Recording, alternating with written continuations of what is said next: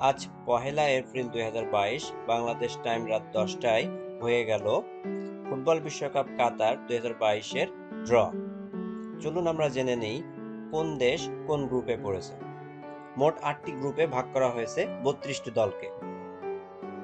Group এতে রয়েছে Qatar, Ecuador, Senegal এবং নেদারল্যান্ড।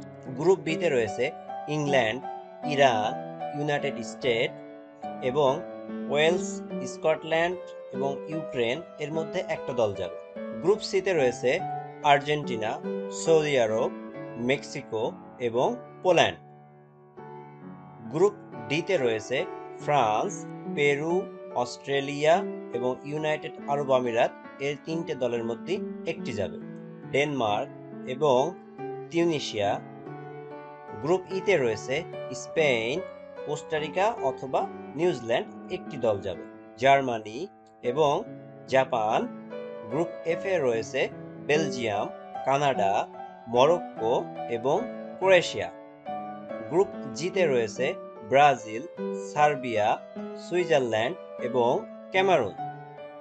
গ্রুপ এইচে রয়েছে, পর্তুগাল, ঘানা, উরুগুয়ে এবং সাউথ কোরিয়া।